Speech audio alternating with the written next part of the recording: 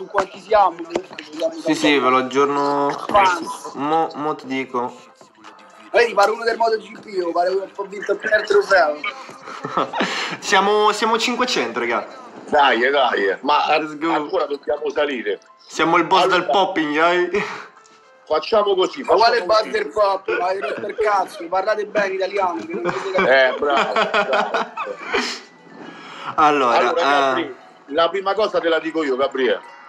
Allora, non, non tutti sanno, non tutti sanno che io ti conosco dall'epoca in cui tu avevi lo scarabeo, lo scarabeo blu, Manco un tatuaggio.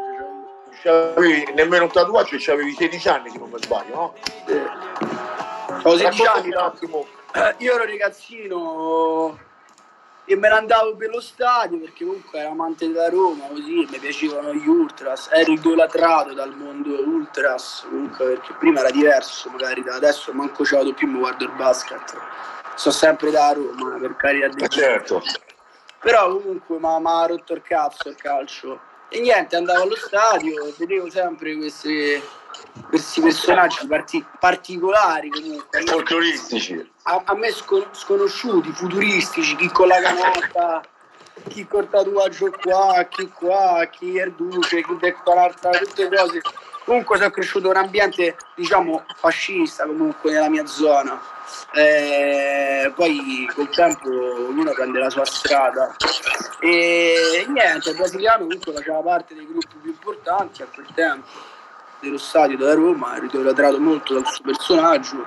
Mi ricordo la prima volta che lo conobbi fu su Corso Francia, lì c'avevo il motorino, lui c'aveva l'SH e già, gli- già non c'aveva l'occhio, quindi Sì, quando, sì. si girò, quando si girò io ho detto, "Oddio, ma questo come cazzo fa a guidare il motorino? Ho fatta la capriola, mi sono girato ho fatta la capriola. Ho girato con tutte quante le spalle e, e- e niente, io poi da là ho fatto, guarda, io sono so, so, so Gabrielino, vado allo stadio, così.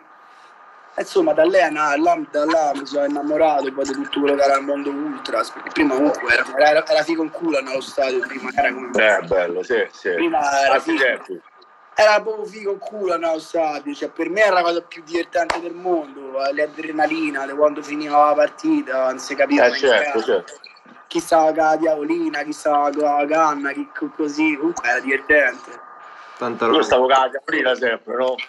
Ma, Io chiamo a fuoco proprio. ma no, ma manco troppo, non è vero, tutte, cazzo, tutte leggende. Mamma mia, per carità. No, è figo, Eh, è figo. Se ci sono qualche, qualche domanda da fare, un po' abbastanza carina, vai, eh. Eh, dai, dai, allora io... mm, io ho conosciuto Brasile grazie a una storia di Insta di Galla, dicono. Poi... Oh, qua mi dissi pure, oh. mm. Oggi dico Comunque dai, alcuni, alcuni pensavano che avete litigato, però dico, però Ma- dico, adesso vi vedo belli belli, belli insieme, quindi... Ma no, ma io... Raga, uno litiga quando, quando fa qualcosa a qualcun altro. Io a Massimiliano non gli ho mai fatto niente. Ma che sta scherzando? e No, manco mi permetterei mai. Però Anche è no. vero, Anzi, è- forse è- sono uno dei pochi tra tutti quelli che girano intorno a Massimiliano che mi sono sempre comportato bene. Se ho sbagliato, Certo, vabbè, vabbè. scusa.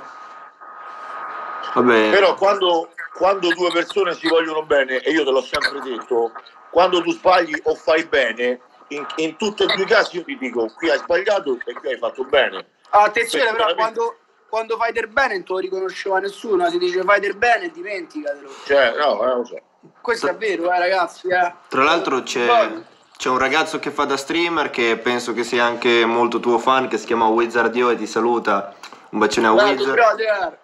Gang. Comunque devo dire che siamo tre bei ragazzi. eh. Visto? Ma mancava, se mi facevo la Poi, barba... ragazze che ci guardano anche perché comunque parliamo sempre con gli uomini ragazzi siate coinvolti anche voi Eh, Allora, mm, cosa avete da chiedere ragazzi? Dai, dai, eh. Allora, se, nessuno c'ha da chiedere nessuno, allora ieri stavo raccontando perché i ragazzi mi, ra- mi- mi dicono di raccontare, no Gabriele? Qualche Vai, vai. episodio che però faceva sorridere, tra virgolette.